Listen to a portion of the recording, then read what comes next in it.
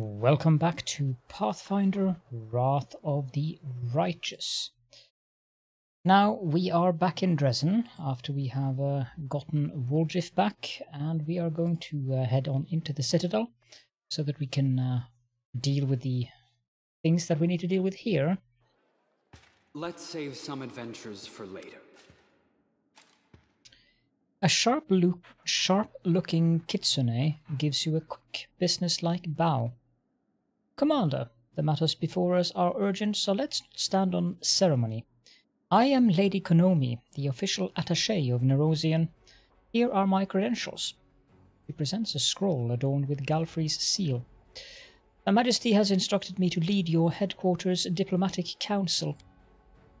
Honestly, I was surprised when Lady Konomi asked me to join this council, but I will do my best to fill the shoes of a trained diplomat.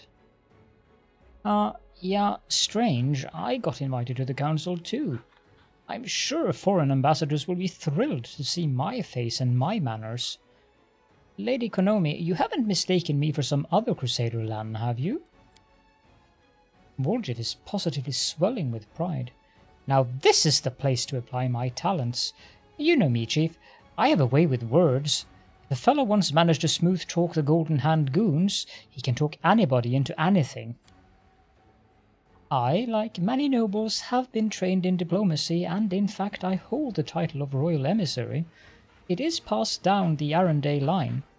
I must say that prior to this day, I employed my diplomatic skills solely to undermine Mendev's international reputation. It is time to break that habit. I imagine preventing international scandals will be just as interesting as causing them.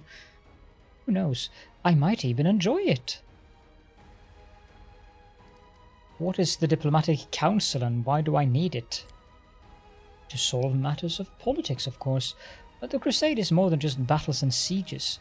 It is the largest military project in all of Avistan, funded by the treasuries of more than a dozen major powers. And each of those powers, in addition to seeking victory over the demons, also pursues it, its own goals. The Diplomatic Council will manage this tangle of political interests and prevent the crusade from losing the favor of influential benefactors, and while we're at it, ensure that Nerosyan remains satisfied with the state of affairs. After all, for the last hundred years, the entirety of Mendevian politics has revolved around the Crusades in some shape or form, and that is why the capital has sent me here, to observe, offer suggestions, and keep the diplomatic situation under control. I see. You've been sent to keep an eye on me. Whatever gave you that idea, Commander? I'm not an overseer. I am your loyal adviser. I do not intend to meddle in the way you run things, just consult with you in cases where the price of error is too high. Put your trust in me and get along swimmingly. After all, none of us here want to see Cheliax and Druma at each other's throats, trying to settle their dispute by using their influence on us as political leverage. Am I wrong? And I doubt you would like it if we made enemies in the ranks of Nerosyan nobility who would attempt to undermine your war effort. This won't happen as long as you trust my experience. Tell me more about the Royal Council. What is it? The Royal Council, operating under Her Majesty, is the highest governing body in Mendev and comprises her most able and trusted servants. It is responsible for day to day matters of state, and they are the hands and the voice of the Queen. The Council has gathered people from all walks of life. Some of them are nobles, but many more are citizens of humble origins who earned their positions through their wit. Many are rich, but a fair number of them are more humble means of more humble means. Some are pious and pure of heart, like Lord Inquisitor Kasori and Captain Jasper of the Crusader Heralds. Others are more flexible and ambitious, but each of them faithfully serves Mendev's cause. I have a question about the composition of this council. Do you find someone's presence surprising?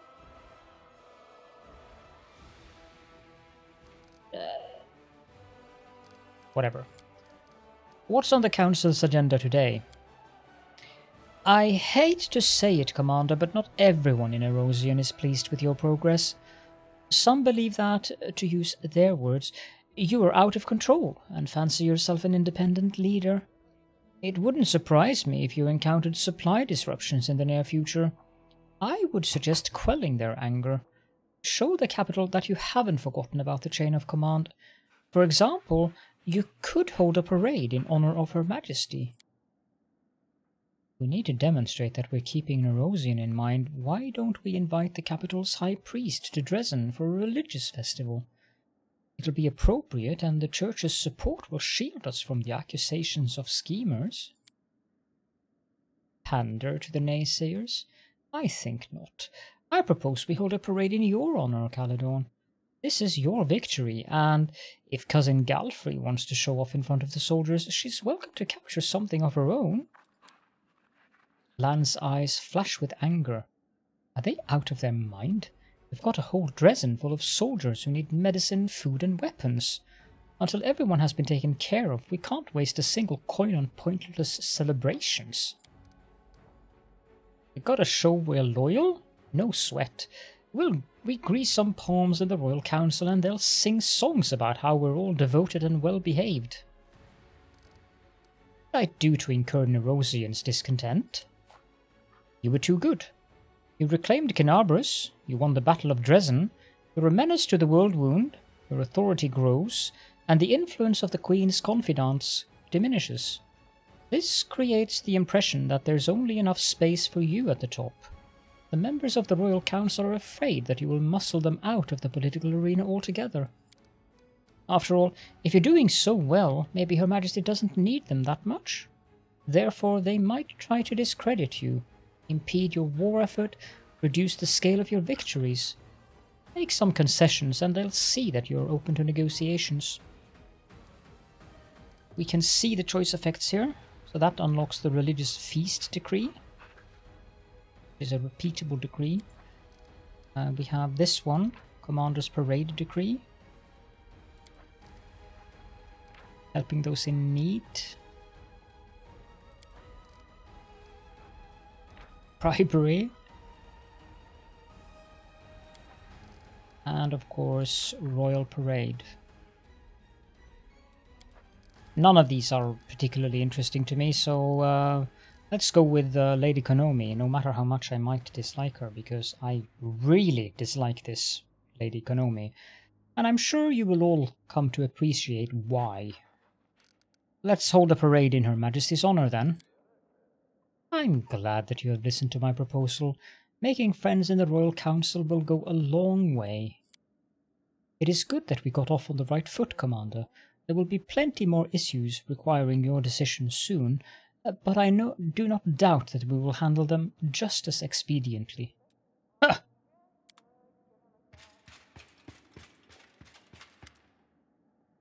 Hail, Commander. Before you an aged, yet fit and sturdy Garundi stands at attention. His dark skin has an earthy tone to it, and crystals sparkle forth from where his hair and eyebrows should be, clearly identifying him as an Oread. Captain Harmattan, Chair of your Staff Council by order of Her Majesty Queen Galfrey, here to deliver a report.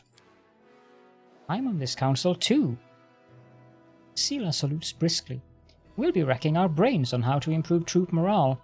I reckon the key is to back up our words with actions. Lead your soldiers by example, and they'll be eager to follow. Drawing on my experience as a paralictor, my advice is to maintain calculated moderation in every regard be it an incentive or penalty, and to be decisive. We have no need for doubts or turmoil. I'm doomed to be your adviser, but do you know what that means? That you are doomed to listen to my advice! To start things off, here's an incredibly novel and deep thought for you. Loyalty, passion, and morale. All of these can be easily bought with money. Commander, permission to report. We have encountered a problem. Although we are still getting volunteers, we are now seeing cases of desertion. Many who joined the Drezen campaign believe that their duty has been fulfilled with the victory, and they are not keen on staying in the garrison. Those from Kenabres wish to return home and rebuild their ruined city. Lastly, there are those who are afraid of lingering in a place where demons might show up with a retaliatory expedition at any moment. My suggestion is my suggestion is to improve living conditions for the privates, raise their pay, give them extra rations, and reward those who have distinguished themselves on the battlefield with commendations and gifts. Soldiers don't want to leave armies that appreciate them. I feel for those folks, but we have to convince them to stay. I think we might get some help from the servants of the gods. They'll tell the soldiers that the danger has not yet passed and inspire them to keep up the fight against evil. As long as the wound is open, the whole world is in danger. Can't just go home and live like we used to, no matter how badly we want that to happen. Most of the Crusaders are volunteers, but they have no right to subvert military discipline. That kind of attitude is tantamount to treason, regardless of who expresses it. We have to identify the instigators, arrest them, and administer harsh punishment to make an example of them. This problem is quite simply solved with coin, but handing money out to privates is practically throwing it away. We need to pay the officers handsomely, then they'll figure out how to raise their subordinates' morale. Tell me, Captain, what does the Staff Council do? In short, we make sure that whenever orders are given, they are executed properly. Our job is to keep the soldiers' morale high, so they always follow their officer's command without question. As for the officers themselves, we look out for any unseemly or incompetent types who subvert the troops' trust. Okay, this one, Glory to the Heroes Decree might be useful to have a decree that raises morale. Hunting down mutiny. 14 days versus 30 days. Regills. Since mercenary units are already so expensive as it is as a lich, I'm not really that interested in that. Bribes for the officers, 15 to 20. whereas this one is 60 to 25. Distributing provisions requires 300 materials, whereas Regills requires leadership, period. We will go with the Regill then. I mean, hey. Regill, find the instigators and make an example of them. Affirmative. I already have my eye on the most spirited ones. I will apprehend them immediately. Thank you, Commander. Should any other difficulties arise that require our attention, I will deliver a report promptly.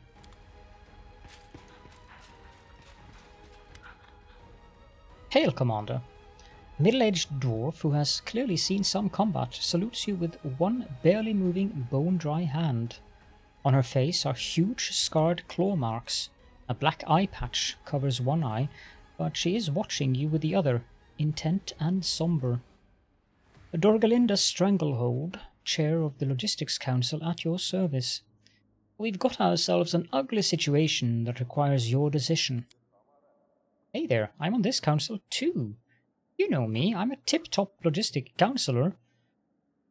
Want all of your logistics to mysteriously, or not so mysteriously disappear, I suppose. I hope I won't get in anyone's way if I join you. Aru looks all around with visible worry. I think I could give some good advice here, if you don't mind, of course. Hopefully this council will benefit from my vast experience surviving with gear that consists of rocks and sticks, and where any dinner that's not squirming on your plate is considered a feast. In all, kind of like our crusade. I won't lie to you, our logistics are a mess. We need more of everything, and what we do have is in disarray. Crates of provisions are rotting away in storehouses because some idiot quartermaster spilled beer on the papers. And fools are not the worst problem, there's also theft. Some officers grease palms to get a helmet with stylish plumage or a fancy blade from an Erosian. Meanwhile, that means that ordinary soldiers are being armed with barely more than kitchen knives, hammer and tongs, it is time to give the entire logistics staff the bum's rush. Question is, where do we find capable and honest people to replace them? The army's always a mess. It's the army, duh. If you want to get ourselves out of the bog, supplies have begun to, hand, supplies gotta be handled by real moneymakers, not soldiers. Merchants, store clerks, people with a habit of counting every count, coin, not sucking away on the kingdom's udder. These scoundrels must be replaced with decent, honourable people. Selfless souls who have proven that they put their comrades' lives above all else, especially with the, especially their own wealth. Surely that's who will take the best care of our soldiers. Let's get some veterans on the job. People who've had their fill on the fill of the front lines and who know firsthand what life is like for our common soldiers, what the rations taste like and how the boots are always the wrong size. My suggestion is to call some experienced, well-connected supply officers from Nerosyan. Let them leave their cushy jobs in Mendev and work up a sweat for the good of the crusade. Dorgalinda, what are this council's responsibilities? The Logistics Council deals with all matters relating to supplying the army. Most issues will be trivial and undeserving of your attention. However, from time to time, serious decision will need to be made, and that's when I'll convene the council. Okay, what are our choices here? Expensive feat that goes to every single trainable unit. It's not bad. This one. That is definitely not bad. This one. That's a bit meh, since I'm cheating in the troops. That's for mercenary units, so that's completely and utterly ridiculously meh. I think we'll go with uh, Woljif then. Woljif, we will staff our quartermaster servants service with merchants. You can't go wrong with those guys. You just gotta watch what they're selling and to whom. If they're by their lon lonesome, they might sell something to the demons. now I'm kidding, they won't. At least not to the demons. Probably. Look, it'll be fine. Then it's decided. No matter what our new quartermasters are like, there is no possible way they can be worse than what we have now. The results will be reported to you, and if anything else comes up, I will call the council right away.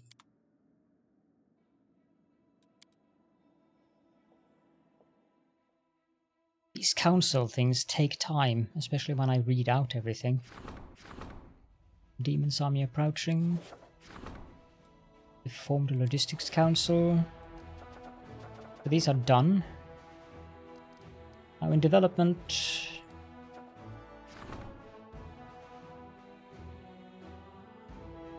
Uh, yeah. Can't rank up currently, so we're going to build the takes 14 days. We need the ziggurat. We need the ziggurat as quickly as possible, so... Lich Zacharias demands a ziggurat to be constructed in Drezen, which will become a safe fortress for the commander and his laboratory, a refuge for his undead servants, and a place to perform sinister rituals. Boom. That'll take 30 days. That's the longest decree I've ever had. Uh, anyone, anything else? We have this one. I think we'll take that one. And the fate of Soulshare. Soulshare is one of the few relics I'm not sure about what will turn into, whether it's good or bad. So um, let's issue this decree as well.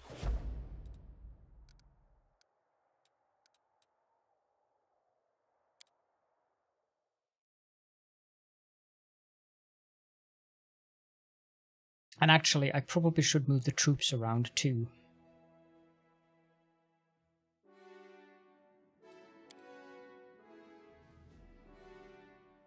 The loading times could be a little bit less.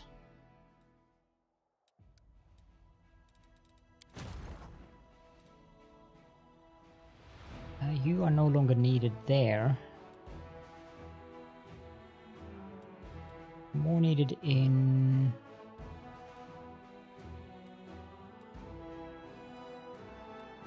Go to Drezen. And go that way.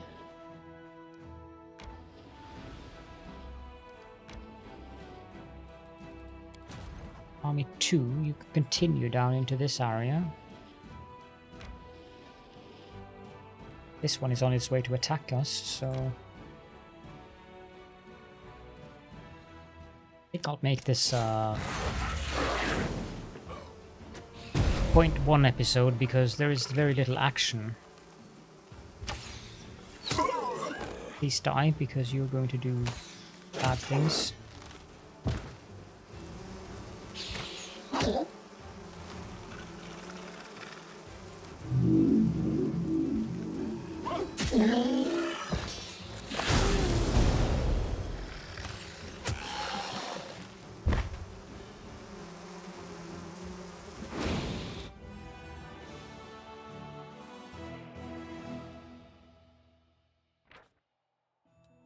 Get, uh, ooh, nice. Sosiel will appreciate that. I have no idea if that's down or that way. Apparently it was that this way. Good. Yeah, these guys stand much of a chance. Then again, the game, of course, doesn't count on me having these kinds of armies.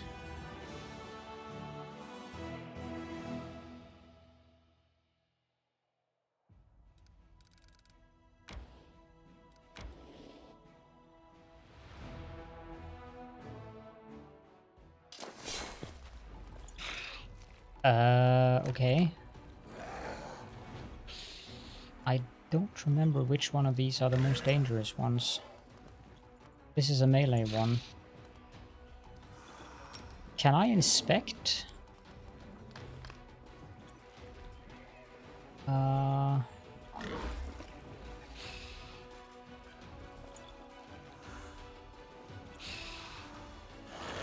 And this guy can teleport.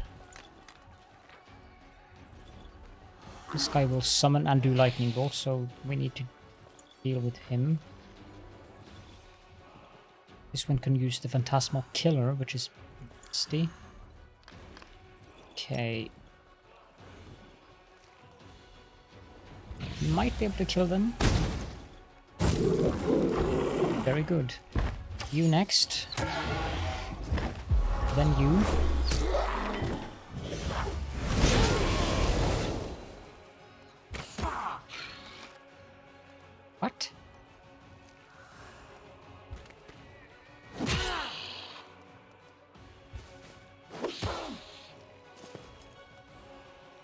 Exactly how much hit points do you have?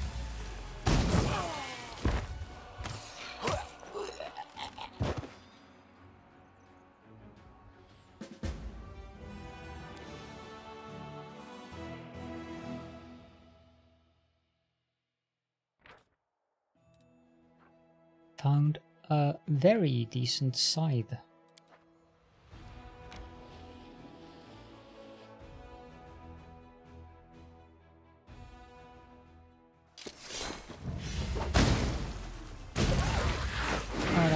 Wasn't so bad. I would have thought that was worse. I'm terribly afraid you need to die.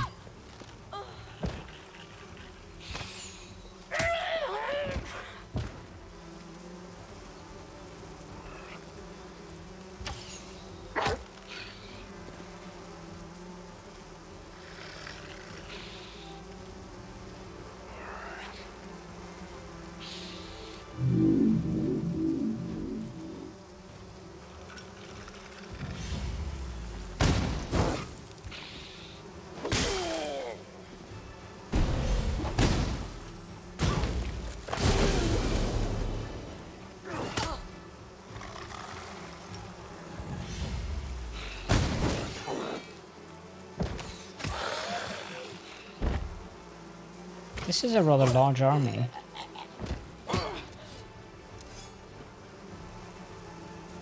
Can you wait?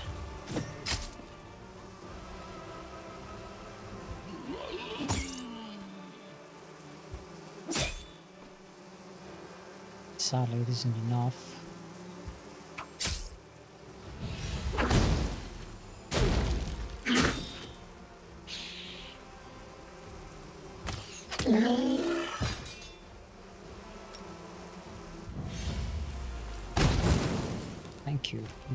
To get rid of you.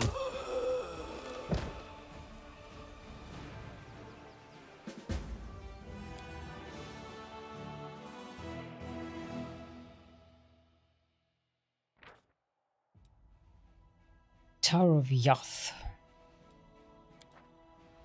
Seems a pleasant place.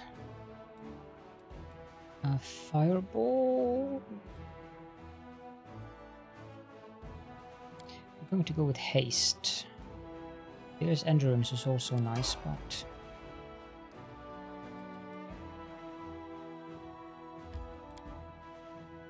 Okay, now this place. Don't have material points.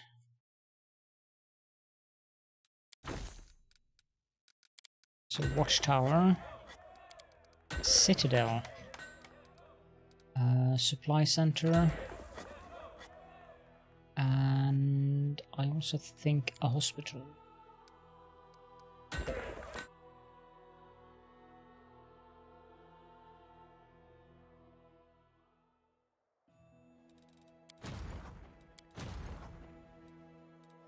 I think we'll leave the army there for now. This army is going to be absolutely crap. Then again, we're going up against undead, so...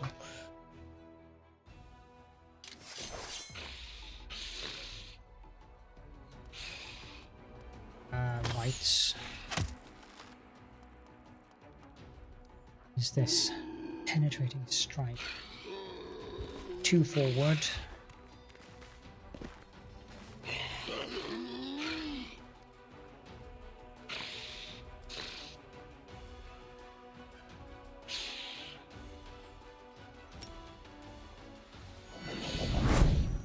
Okay, we have this other unit of whites. That was more effective than I thought. I wonder if you can raise undead troops as undead. It's a good question.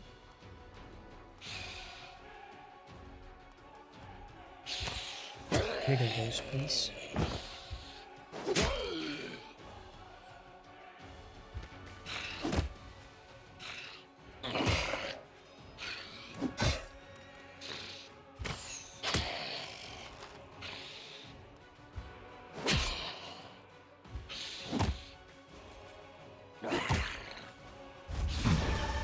The sounds.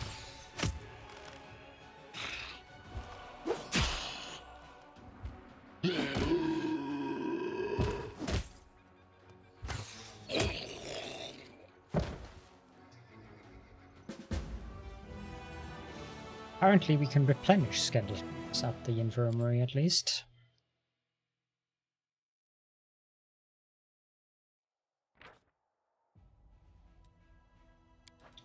Yeah, we have more troops now, so I guess we can. Master of Maneuver would be nice. Can do this, and we can go in. And this is Crusader Army 3, I think?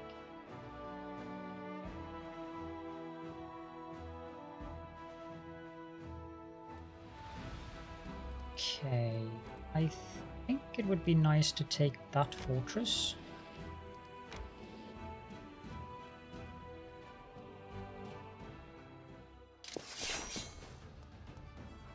Oh my god.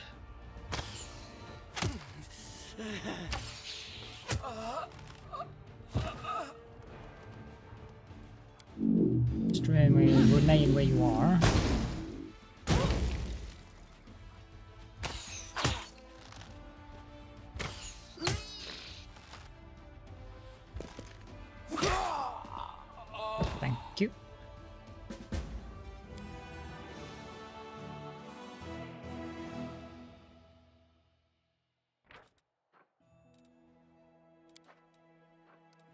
Got to level up as well.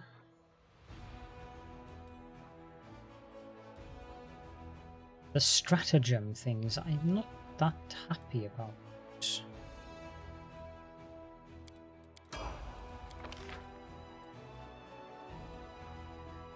Um, I suppose this. Which is ironic to cast on skeletons and zombies, but... As for this place... We definitely want a watchtower here. We also want a citadel here. And then supply center and a hospital. The hospitals all increase plus 5% each of the infirmary sizes of your various armies. Uh, let's let these guys catch up.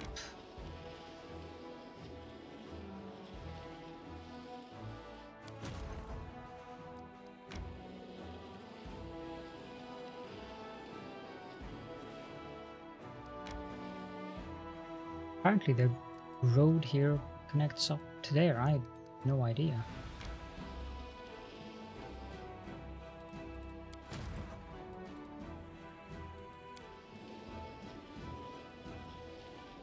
And no idea where that road goes either. Same with that one.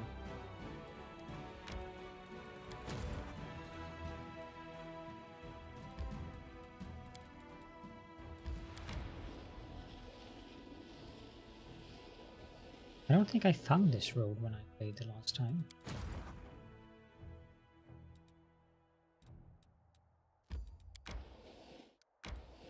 Can use these to map up the roads, I suppose.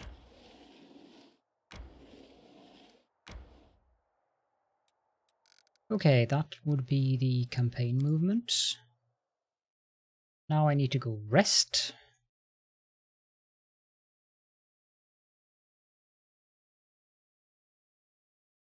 Claim some spells and stuff like that.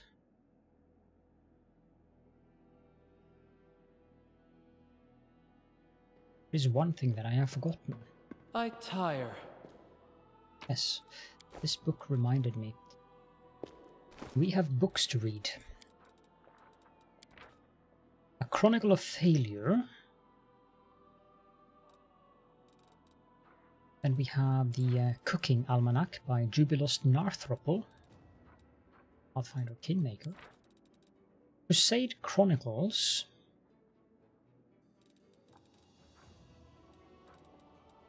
Know Thy Enemy. Knight of the Witch, Prodigal Sons, Sarkoris Lost, Soldier Humor, 5th edition.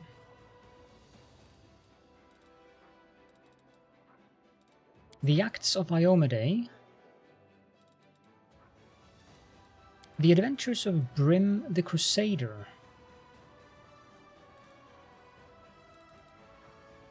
The History of the World Wound. I'm pretty sure we've had we have a few copies of that book. A letter from Drezen.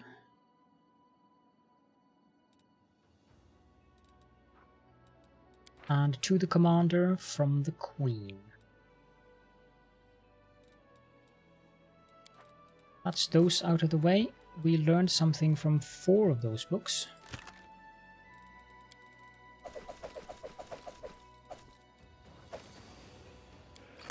Speaking of which, the stuff that we've learned from those books, some of those are actually quite nifty. Have plus one bonus to attack and damage with glaive. Plus one uh, armor class against dragons. Competence on saving throw against swarms. Shield bonus against demons. 10 hit points plus one perception stealth, plus one lore religion and lore nature, plus one competence towards death spells, plus one competence towards saving throws versus disease and sickened. So yeah, these books are not at all bad. We'll have a quick nap. The world must be cleansed. Starting with my immediate vicinity. Okay. Rather macabre.